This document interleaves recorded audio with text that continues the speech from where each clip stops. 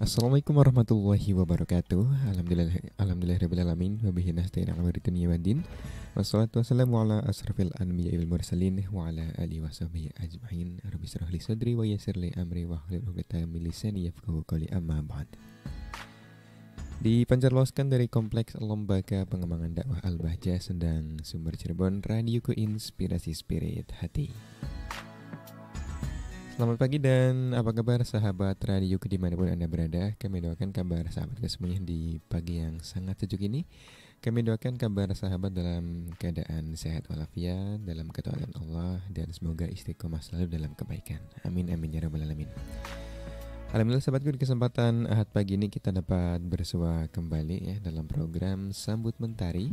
Sebuah program yang bertujuan untuk meningkatkan kualitas iman dan menggali ilmu di Inul Islam dalam program acara sambut mentari pagi ini kita akan kembali belajar sahabatku bersama asati dari Lembaga Pengembangan Dakwah Al-Bahjah yaitu bersama Al-Ustaz Aziz Fadli Al-Ma'arif.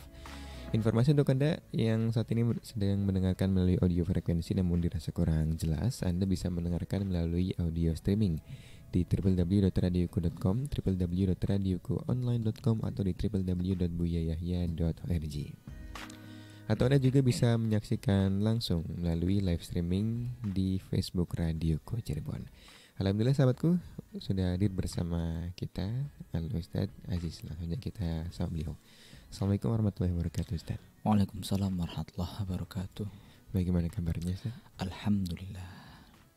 Allah selalu memberikan kepada Al-Fakir kesehatan dan mudah-mudahan Kang Irfan juga para sahabat radioku diberi kesehatan oleh Allah Subhanahu wa taala. Amin amin ya amin. Baik, Ustaz, di kesempatan sambut mentari ini ada tema atau materi apa yang akan disampaikan Ustaz? Pada pagi hari ini kita sudah memasuki di bab awal ya. Kalau sebelumnya kita baru di pengantar mukodimah saja. Hmm. Kita sudah masuk pembahasan ya. Yaitu berkaitan dengan berakhlak dengan sebagian sifat-sifat Allah yang layak untuk disandang oleh hambanya. Ya, masya Allah. Baik, coba dulu saya untuk penyampaian materinya. Bismillahirrahmanirrahim. Assalamualaikum warahmatullahi wabarakatuh. Waalaikumsalam warahmatullahi wabarakatuh. Alhamdulillahilladzi hadana li hadza wa ma kunna linahtadiya laula an hadana Allah.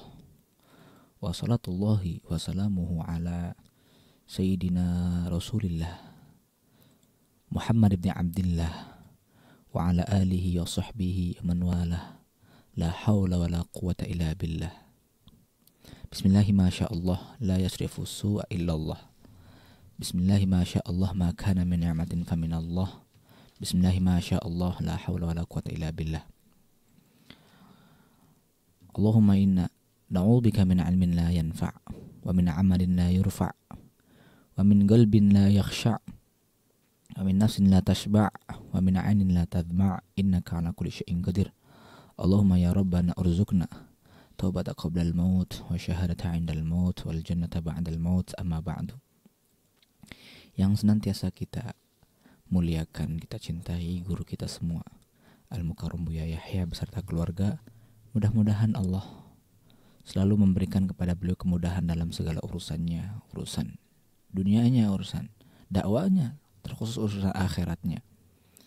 Mudah-mudahan beliau juga diberikan keistiqomahan agar senantiasa membimbing kita agar semakin kenal dengan Allah, semakin dekat dengan Allah, menjadi hamba-hambanya yang dicintai, diridhoi, dan menjadi hambanya yang selalu sambung dengan Rasulullah Shallallahu Alaihi Wasallam. Dan tak lupa pula kepada para sahabat radioku di mana saja anda berada, mudah-mudahan anda semua diberikan oleh Allah panjang umur dalam ketaatan serta sehat walafiat. Amin ya rabbal alamin. Ya Pada pagi hari ini kita masih diberikan kesempatan oleh Allah untuk mengaji, belajar, menuntut ilmu. Dan tentu ini adalah suatu kemuliaan mudah-mudahan diberikan keistiqomahan. Amin. Amin ya pada pertemuan kali ini kita sudah masuk ke pembahasan pertama ya pada pertemuan-pertemuan yang lalu kita baru di mukodimah di peran pengantar saja itu sebagai jembatan agar kita ke depan bi bisa memahami apa yang dimaksudkan oleh Al-Imam Al-Aziz Ibn Abdissalam. Baik langsung saja akan kita baca. Bismillahirrahmanirrahim. Qala al-muallif rahimallahu taala nafa'an Allah bihi wa bi ulumihi wa bi ulumikum fid amin ila an qala al-babul awal bab yang pertama fit takhalluqi bi sifatir rahmani ala hasbil imkan yaitu tentang berakhlak dengan sifat-sifat Allah yang Maha Pengasih sesuai dengan kemampuan. Faslun la yasluhu li wilayatid dayyan man lam yata'addab bi adabil Quran. Pasal ini menjelaskan tentang tidak layak seorang yang ingin memperoleh kewalian man lam yata'addab bi adabil Quran. Itu orang yang tidak beradab dengan adab-adab Al-Quran. Walam yatakhallaq bi sifatir rahman ala hasabil imkan dan tidak berakhlak dengan sifat-sifat Allah yang Maha Pengasih sesuai dengan kemampuannya. Jadi orang tidak dikatakan wali kecuali dia sudah berakhlak seperti akhlaknya Al-Quran. Dan orang tidak dikatakan wali kecuali orang yang sudah berakhlak dengan sifat sebagian sifat-sifat yang layak disandang oleh hambanya, oleh manusia. Pada pertemuan yang lalu sekali kita sudah menjelaskannya bahwa kita boleh berakhlak dengan eh, sifat-sifat Allah karena sifat-sifat Allah itu kan dibagi. Terbagi menjadi dua. Ada sifat yang sifatnya khusus ya, sifat-sifat Allah yang khusus. Itu kita tidak mungkin berakhlak dengan sifat-sifat tersebut. Seperti halnya sifat Allah bahwa Allah tidak butuh siapa pun dari makhluknya. Ya, seperti yang terkandung dalam ayat innallaha laghaniyun 'anil alamin. Sesungguhnya Allah itu tidak butuh dengan semua yang ada di dunia ini, di alam ini. Ini sifat Allah khusus. Dan tidak boleh seorang hamba menjandang sifat ini. Manusia pasti butuh siapa pun. Ya, bahkan seorang raja besar, seorang presiden pasti dia membutuhkan orang lain. Dan termasuk tabiat manusia butuh dengan yang lainnya. Tidak ada manusia yang mencukupi dirinya sendiri. Urusan makannya masih beli dari orang lain ya. Dan apa pun itu pasti membutuhkan orang lain. Ini sifat yang tidak bisa disandang oleh manusia, sifat Allah yang tidak bisa disandang oleh manusia. Ya, salah satu contohnya adalah tidak butuh dengan suatu yang lain. Hmm. Ya, ini sifat yang pertama, sifat Allah yang pertama yang tidak boleh disandang oleh makhluknya. Kemudian yang kedua, mungkin ya, seorang hamba berakhlak dengan sifat-sifat Allah. Mungkin berarti bisa jadi boleh, bisa jadi tidak boleh, tapi kemungkinan dia bisa berakhlak dengan sifat-sifat tersebut. Yaitu bisa uh, uh, bihi, yaitu pertama mungkin berakhlak tapi tidak boleh berakhlak dengan sifat-sifat tersebut. Contohnya kayak apa? kayak kibria, keagungan, kesombongan, azamah. Ya, ini hanya disandang oleh Allah nggak boleh manusia menyandang sifat kibria sombongan walaupun mungkin mungkin saja ya, tapi tidak boleh. Ada orang yang merasa bahwa dirinya uh, punya kibria punya azamah. Seperti Firaun misalkan ya. Menyangka dirinya adalah Tuhan sombong. Hmm. karena merasa dia dibutuhkan dibutuhkan oleh orang lain. Bisa mencukupi kebutuhan kebutuhan kaumnya. Ya ada kibria tapi nggak boleh. Terkutuk. Dilarang oleh syariat. Ya. Seperti dalam hadis al kibriyau ridai. Wal azmatu izari. Ya, kesombongan itu adalah ridaku. Sorbanku. Wal azmatu keagunganku wal azmah dan keagungan adalah izari. Ya. sarungku. Artinya ini adalah hiasan yang hanya dimiliki oleh Allah Subhanahu wa taala. Faman naza'ani barang siapa yang mencabut ya, dariku dan minhuma salah satu dari kedua sifat tersebut kesombongan dan keagungan ya tuhu finnar akan aku cemplungkan dia ke neraka artinya ini larangan bagi orang yang merasa dirinya sombong merasa dirinya agung ya karena sifat ini adalah sifat khusus uh, sifat Allah sifat Allah tidak bisa manusia sombong. Apa yang mau disombongkan? Semuanya adalah karena Allah. kepintarannya pun adalah dari Allah, kekayaannya juga dari Allah, ilmunya juga dari Allah, makomnya juga dari Allah. Apa yang disombongkan? Orang layak sombong itu adalah bagi bagi zat ya yang memang dia dapat berdiri sendiri, dapat mencukupi dirinya sendiri, yaitu Allah Subhanahu wa taala. Nah, yang kedua, sifat Allah yang boleh yang mungkin disandang dan juga syariat menganjurkan untuk uh, berakhlak dengan akhlak-akhlak tersebut seperti halnya uh, al-haya rasa malu atau jud dermawan ya, Allah maha dermawan. Dan Allah pun memerintahkan bahwa seorang harus dermawan harus uh, harus uh, mudah untuk mendermakan hartanya bersedekah. Ya, dianjurkan oleh syariat ini sifat yang boleh disandang oleh oleh manusia bahkan dianjurkan ya jadi seorang wali kita kembali lagi seorang wali itu tidak akan diperoleh kecuali bagi mereka yang sudah berakhlak dengan akhlak akhlak Al-Qur'an. Hmm. Akhlak Al-Qur'an juga sudah dijelaskan pada pertemuan yang lalu ada dua. Ya, atakhalluk bi isil ubudiyah yaitu berakhlak dengan uh, kekhususan penghambaan ya, tentang penghambaan kepada Allah Subhanahu wa taala. Seperti rasa patuh, rasa menghinakan diri ya. Akhlak akhlak ini adalah akhlak-akhlak tentang penghambaan kita pada Allah Subhanahu wa taala. Ya ati Allah wa ati Rasul. Taatlah pada Allah dan pada Rasul. Taat ini artinya patuh. Ya. Kemudian takhuluq bi ba'di sifatir rububiyah. Yaitu berakhlak dengan sebagian sifat-sifat rububiyah. Ketuhanan. Seperti adil ihsan ya. Kemudian anjuran untuk akhlak berakhlak dengan akhlak Allah dalam hadis banyak dijelaskan takhallaku bi akhlakillah kata Nabi takhallaku bi akhlakillah berakhlaklah dengan akhlak-akhlak Allah biarpun hadis ini tidak ada asalnya kata Imam Suyuti tapi kita boleh mengambil maknanya dong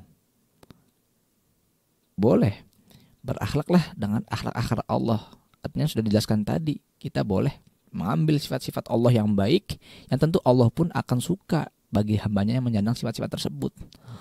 Ya, nanti akan dijelaskan oleh muallif oleh Syekh Imam Ibn Salam. Ya. Kita teringat perkataan Sayyidi Syekh Muhammad bin Ali Ba'atiyah. Tidaklah seorang diberi kewalian kecuali dia diberi pemahaman tentang Al-Quran.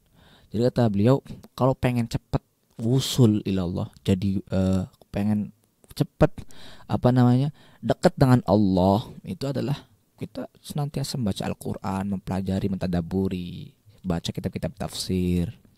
Ini cara cepat untuk bisa usul pada Allah Subhanahu wa taala.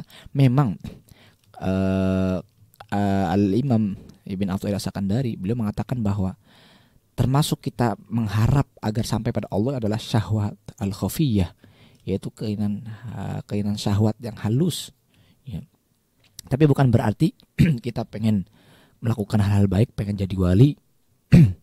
Enggak kita harapannya adalah agar kita menjadi hamba-hamba yang dekat dengan Allah hamba-hamba yang diridhoi.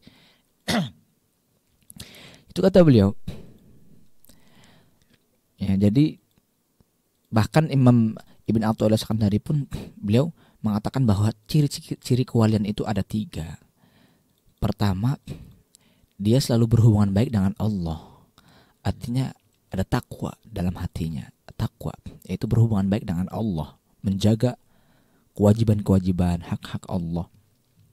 Tidak maksiat ya, ibadahnya getol ibadahnya ikhlas. Hatinya bersih tidak ada penyakit-penyakit hati sombong ya ujub. Kemudian yang kedua yaitu orang senantiasa menjaga hubungan dia dengan manusia.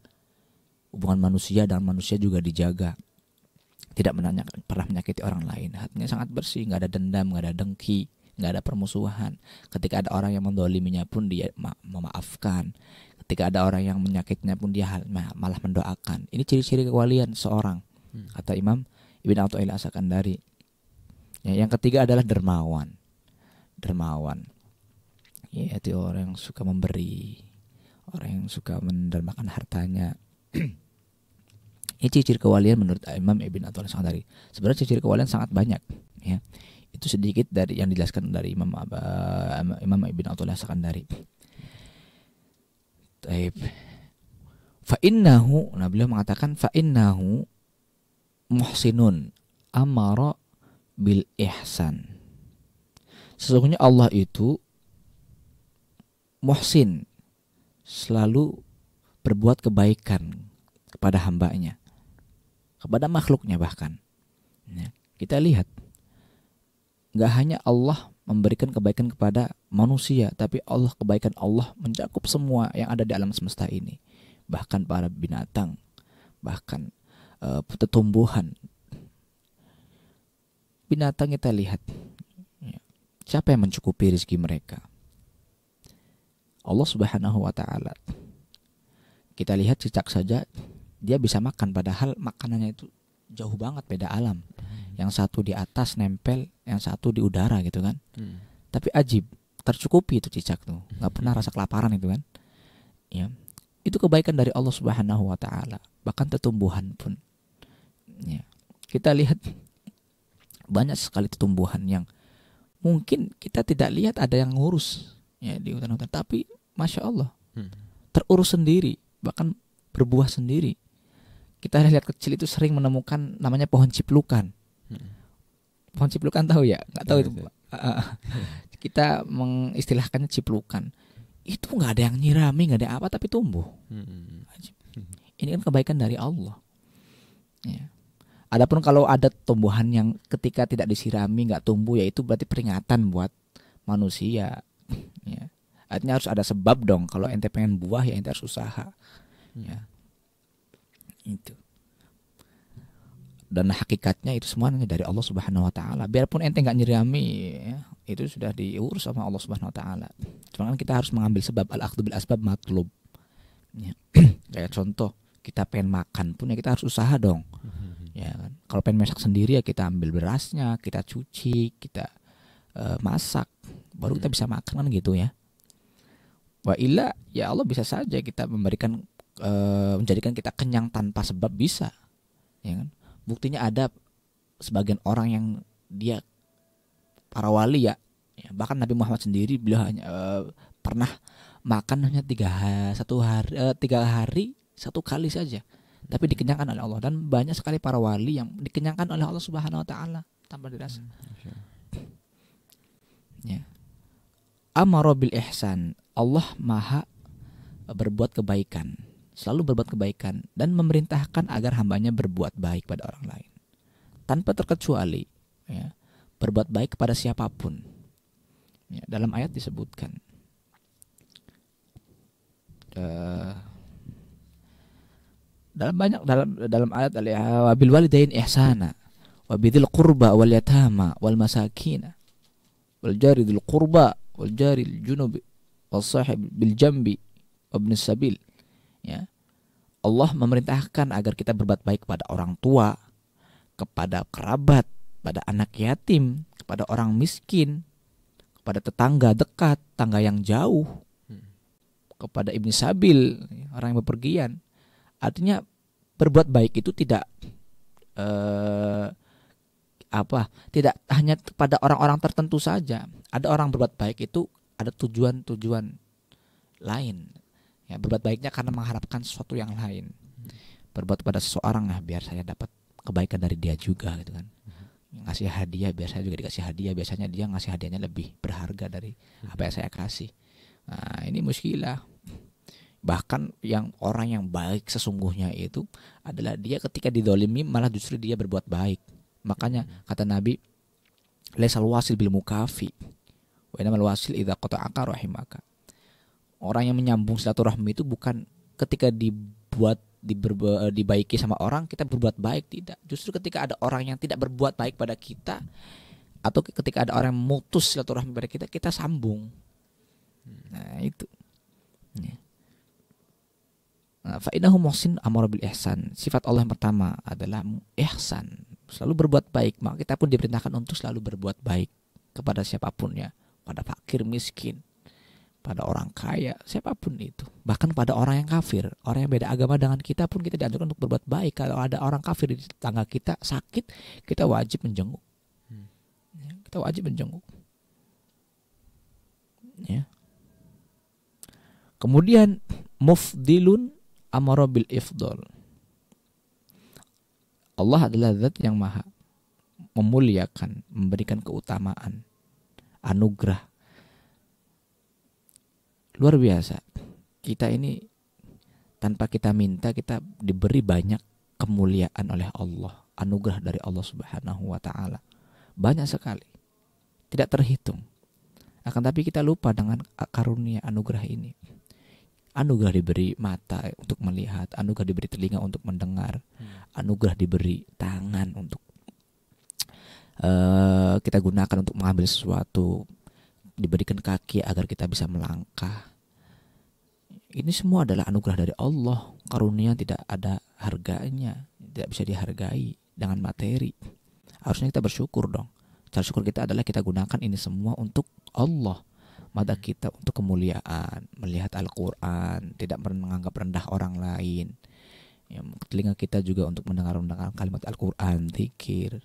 Mulut kita juga kita ucapkan untuk hal-hal yang baik, berzikir, uh, solawat, dan lain sebagainya. Ya.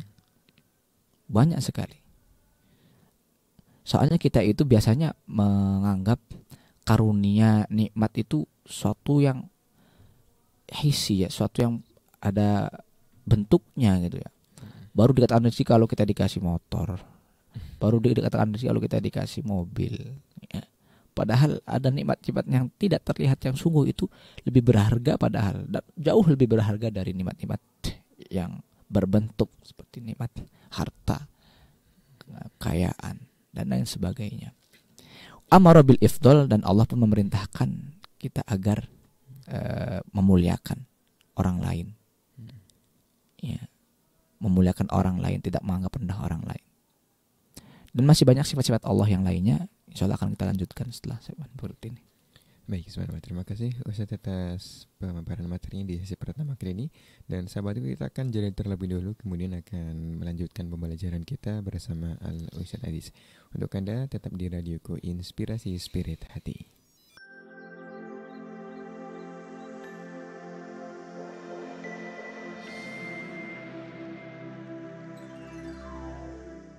Radio Ku Inspirasi Spirit tadi masih dipancarluaskan dari Kompleks Lembaga Pengembangan Dakwah Al-Bahja Sendang Sumber Cirebon. Terima kasih sahabatku untuk Anda yang masih bersama kami dalam program Sambut Mentari. Dan juga untuk rekan-rekan Radio Ku Network yang sudah merilai acara ini. Ada Radio Ku 104,8 FM Kuningan, Radio Ku 92,4 FM Majalengka, Radio Ku 104,7 FM Batam, Radio Ku 1089 AM Bogor, Radio Ku 88,0 FM Kubure Pontianak, Radio Ku 89,6 FM Purbalingga, Radioku 87,6 FM Barau Kaltim, Radioku 106,3 KCG Martapura dan Radioku 93,6 Aceh Besar. Baik sahabatku kita langsung saja melanjutkan pembelajaran kita bersama Al Ustaz Aziz Tawadulisan untuk melanjutkan materinya. Baik Bismillahirrahmanirrahim. Kita lanjutkan kembali dan pembahasan kita adalah tentang berakhlak dengan sifat-sifat Allah sesuai dengan kemampuan. Ya. Pada segmen pertama kita sudah menjelaskan bahwa termasuk sifat-sifat Allah adalah muhsin dan mufdil ya. Dan Allah juga memerintahkan uh, agar seorang hamba berbuat ihsan, berbuat baik pada orang lain dan juga memuliakan orang lain. Dan sifat selanjutnya adalah mujmilun. Innallaha mujmilun. Sesungguhnya Allah itu adalah maha indah ini sesuai dengan hadis Nabi Shallallahu Alaihi Wasallam. Inna Allah jamilun yuhibbul jamal. Sesungguhnya Allah itu adalah maha indah dan menyukai keindahan. Amaro bil ijmal dan Allah memerintahkan hambanya untuk selalu memperindah. Ya, indah dalam segala hal, indah perkataannya, indah pekerjaannya. Ya. Dari segi pakaian pun kita harus diperhatikan dong. Ya. Rasulullah SAW menganjurkan agar umatnya perhatian dengan urusan keindahan, kebersihan. Hmm. Bahkan itu dikatakan sebagian dari iman. An-nawafatu minal iman. Ya. Mulai dari pakaian kita lah.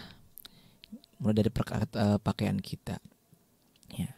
Jangan sok-sokan uh, zuhudnya pakai pakaiannya pakaian-pakaian yang kumuh. Ya. Justru kalau difahami ya, zuhud itu bukan berarti mereka yang harus meninggalkan kemewahan dunia tidak. Seperti yang dikatakan Imam Junaid zuhud itu adalah faragul qalbi anid dunia jadi letaknya itu di hati. Zuhud itu adalah letaknya di hati. Jadi penampilan itu tidak dikatakan orang itu zuhud atau tidak. Kata beliau zuhud itu faragul qalbi anid dunia ya, kalau hati ente yang sudah jauh dari dunia artinya dunia itu dianggap sama ya ada dan tidak adanya harta mafi muskilah nggak ada masalahnya dong. Ya. dunia itu bagi orang-orang zuhud dianggap kecil hanya di matanya saja. Bahkan ciri-ciri orang yang zuhud itu adalah dia akan mudah berderma. Harta kekayaannya nggak ada apa-apanya buat dia. Semuanya akan digunakan untuk Allah. Dan akan nggak merasa kurang ya orang-orang yang zuhud. Itu zuhud sesungguhnya itu. Bukan pakai pakaian kotor. Ini mengganggu orang lain. Pakaiannya baru diganti seminggu sekali. Ya ini kan menyakitkan orang lain. Ya orang lain akan terasa terganggu akan merasa terganggu dengan kotorannya gitu kan. Hmm. atau bisa jadi apa ada hatinya ada dalam hatinya apa keinginan agar di ya, perhatikan sama manusia ya, merasa butuh dengan apa yang di tangan orang. Min Akan tetapi memang ada orang-orang yang menjalani jalan seperti ini. Kita juga jangan menafikan dong jangan meniadakan. Ada orang-orang yang untuk e, berjalan untuk bisa sampai pada Allah itu dengan menggunakan cara-cara seperti ini. Karena memang ya mm, Imam uh, Adham Ibrahim Adham mengatakan bahwa atau Imam Bushairi ya, beliau mengatakan bahwa ada orang yang uh, sebelum dia bisa menjadikan hatinya itu tidak cinta dunia, maka dia juga harus berusaha dari zahirnya juga untuk tidak cinta dunia. Ada yang seperti itu. Hmm. Ya. Ada orang yang seperti itu. Ya, itu. Dari perkataan juga ya kita perhatikan. Perkataan tidak keluar dari lisan kita kecuali kata-kata yang indah. Dan sungguh sangat indah. Bahkan kita pun ngerasa ngerasa ya jijik kan melihat ada orang yang perkataannya itu asal keluar. Ya. Perkataannya nggak dijaga. Omongan-omongan kotor biasa diucapkan. Ini juga terlihat ngeri oleh kita. Ya. kemudian juga per, perbuatan kita harus indah semuanya. Innallaha yuhibbul jamal. Innallaha jamil yuhibbul jamal. Ini sifatnya yang harus disandang bagi siapa pun yang ingin Eh, dekat dengan Allah Subhanahu wa taala dan tentu para wali Allah menyandang sifat-sifat ini semuanya. Ya. Kita lihat guru-guru kita Masya Allah dan beliau banyak yang mengatakan beliau adalah wali. Ya. Luar biasa beliau sangat menjaga sekali pakaiannya terlebih ketika pengen ketemu sama orang. Jadi kisahnya itu kita lihat dalam mata kami sendiri. Jadi ada perkumpulan. Nah, perkumpulan beliau selalu bawa anaknya dalam majlis itu setiap setiap ada majelis beliau bawa anaknya. Nah waktu itu anaknya itu ya namanya masih kecil ya. Jadi mainan air mainan sahi mainan uh, teh gitu kan. Hmm. sehingga teh tersebut tumpah dan terkena baju baju guru kami. Seketika itu beliau langsung keluar dari majelis dan ganti pakaian yang baru. Hmm. ya luar biasa. Ya saking menjaganya beliau ya keindahan dalam berpakaian dan orang pun akan terlihat nyaman ketika melihat orang yang menjaga pakaiannya, keindahannya. Kemudian yang kedua, yang selanjutnya nafi'un. Sungguhnya Allah adalah zat yang maha memberi manfaat, memberi kemanfaatan. Amaro bin nafa. Dan Allah memerintahkan hambanya untuk selalu berbuat kemanfaatan untuk orang lain. Bahkan dikatakan dalam hadis khairun nasi anfa'uhum linnas. Ya kan? Sebaik-baik manusia itu adalah mereka yang banyak manfaatnya untuk orang lain. Ya awas. Jangan salah persepsi. Orang yang dimanfaatkan itu bukan berarti direndahkan dong. Harusnya kita bangga dimanfaatkan berarti kita ada manfaat untuk orang lain. Ya kan? Wah saya mau dimanfaatkan tuh sama dia tuh. Ya kan? masa saya suruh uh, memberi hadiah. Ya suruh ngasih hadiah buat fulan. Ya atau kita selalu dimanfaatkan untuk disuruh-suruh sama orang. Harusnya kita bangga dong loh berarti kita di uh, punya manfaat untuk orang lain. Biarpun caranya dengan disuruh-suruh ataupun yang lainnya itu mah tergantung orangnya sudah. Ya. yang penting kita punya manfaat untuk orang lain orang lain senang bernilai pahala. Ya bahkan diberi predikat oleh Rasul Shallallahu Alaihi Wasallam dengan sebaik-baik manusia adalah dia yang banyak manfaatnya untuk orang lain. Ya. Rafi'un amara bir raf'i. Allah adalah zat yang maha uh, mengangkat derajat hambanya. Yang mengangkat derajat hambanya amara bir raf'i dan memerintahkan agar hambanya juga apa mengangkat derajat. Sesamanya artinya nggak merendahkan nggak meremehkan. Ya. Al muslimu akhul muslim. La yudlimuhu wala yakhdhuluhu wala yahtakiruh. Sesungguhnya orang muslim itu dengan dengan uh, muslim lainnya adalah saudara.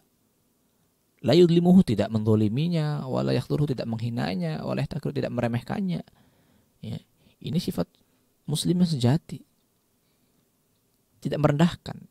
Pandangannya pun pandangan memuliakan bukan pandangan merendahkan ketika ada saudaranya yang berbuat salah ya dia ingatkan ya.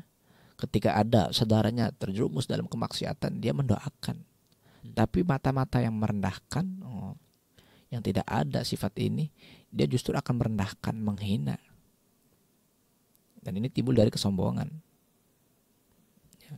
kita angkat orang-orang di sekeliling kita. Kita muliakan. Ya. Bahkan orang yang hatinya bersih pun apa pun yang dilakukan oleh orang-orang sekelilingnya dia akan anggap baik, husnudon. Ya. Bahkan uh, mengambil pelajaran dari sekelilingnya. Kemudian sifat selanjutnya ghafarun Allah adalah maha pengampun. Amaru bil Dan Allah pun memerintahkan agar hambanya mengampuni kesalahan kesalahan orang lain yang dilakukan untuknya. Ya. Allah yaghfiru dzunuba jami'a.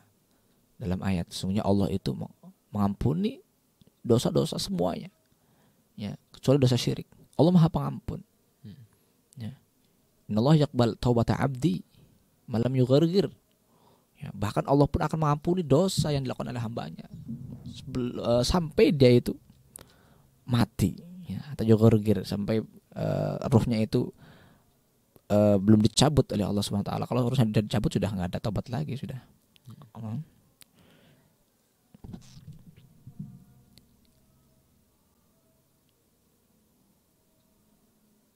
Al-afi anin nas ya dalam ayat yang lain al-afi anin nas wal qadhimin al-ghaidh wal afina nas orang yang merendam kemarahannya wal afi anin nas dan memaafkan kesalahan orang lain. Ini perintah memaafkan sangat banyak sekali ya. Hmm. dan bahkan kita sering di uh, sering dinasehati oleh guru kami bu ya. Agar kita mendoakan orang yang mendolimi kita orang yang berbuat salah kepada kita. Maafkan. Ya, memang maaf itu ya agak berat ya. Ada orang menyakiti hati kita berbuat kesalahan kepada kita, berbuat kesalahan kepada kita, tentu kita akan berat maafkan. Tapi inilah sifat-sifat waliullah, sifat-sifat orang-orang yang dekat dengan Allah Subhanahu wa taala. Kemudian satirun amaro bisatr. Allah adalah zat yang maha menutup aib. Amaro bisatr dan Allah pemerintahkan agar hambanya menutup aib. Ya. Berbeda dulu zaman nabi-nabi sebelum Nabi Muhammad SAW, Nabi Musa dan nabi-nabi yang lainnya. Ya. ketika ada dari kaumnya yang berbuat salah akan ditampakkan oleh Allah. Misalkan pagi ini fulan berzina, tulis depan rumahnya itu, fulan berzina. Hmm. Jadi sangat malu sekali. Aib terbuka. Tapi kekhususan untuk umat Nabi Muhammad ya, hambanya yang berbuat dosa tidak ditampakkan oleh Allah Subhanahu wa taala. Dan ini ada hikmahnya.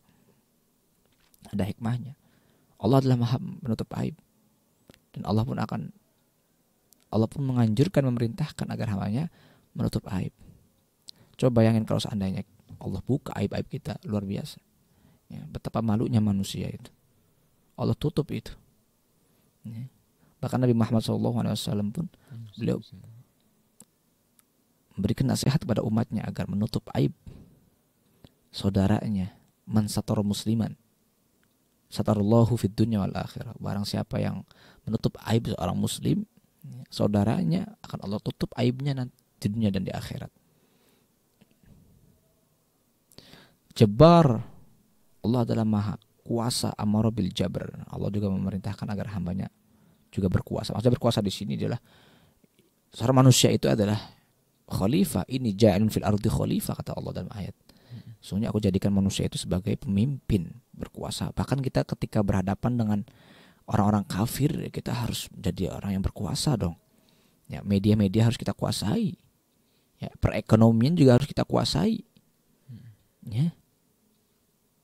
Qaharun Allah juga maha perkasa amarobil qahr. Dan memerintahkan agar hambanya berperkasa.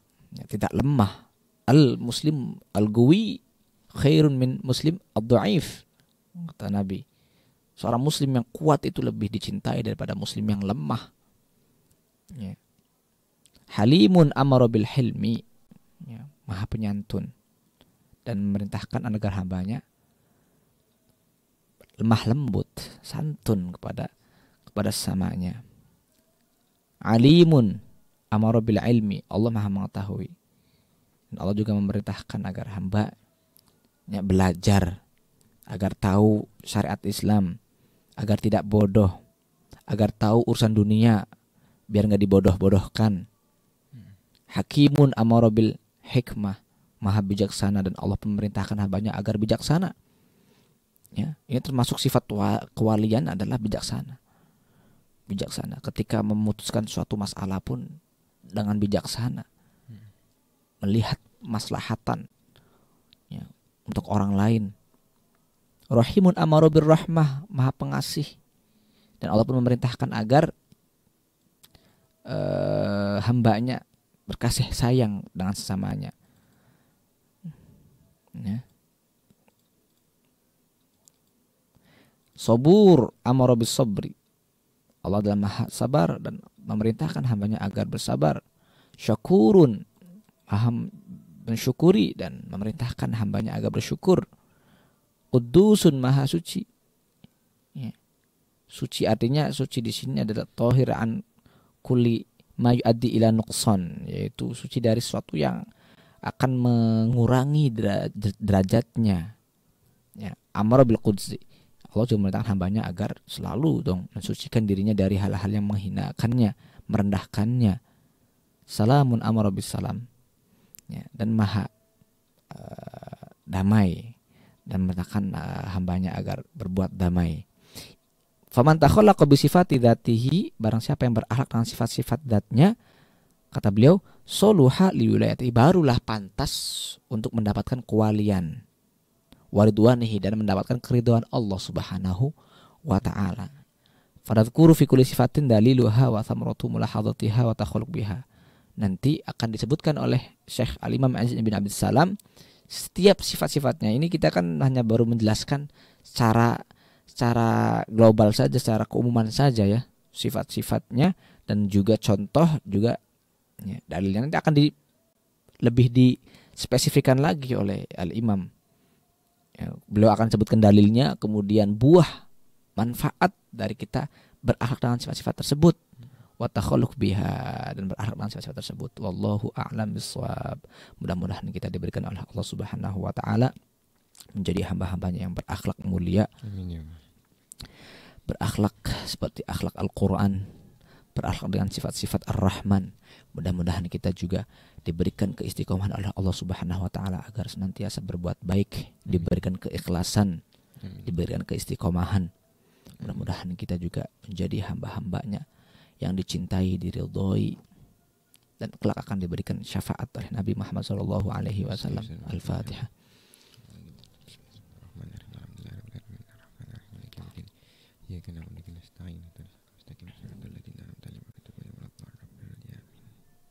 Baik kurang lebihnya mohon maaf. Mohon doa selalu. Wassalamualaikum warahmatullahi wabarakatuh. Waalaikumsalam warahmatullahi wabarakatuh. Alhamdulillahirrahmanirrahim. Baik, Ustaz, terima kasih atas ilmu yang telah disampaikan. Semoga Allah memberikan kemampuan kepada kami semua untuk bisa memahaminya dengan baik dan benar serta dapat mengamalkannya. Amin amin ya rabbal alamin. Terima kasih untuk sahabatku atas kebersamaannya. Insya Allah kita akan bersua kembali sahabatku ya di akhir depan dalam program Sambut Mentari. Kami mohon maaf atas segala kekurangannya. Kami juga mohon maaf jika ada kata-kata yang salah atau ada kata-kata yang kurang berkenan. Kita akhiri kebersamaan kita dengan doa kafaratul majlis. Subhanakallahumma wa bihamdika asyhadu an la ilaha illa anta astaghfiruka wa atubu ilaik. Wassalamualaikum warahmatullahi wabarakatuh.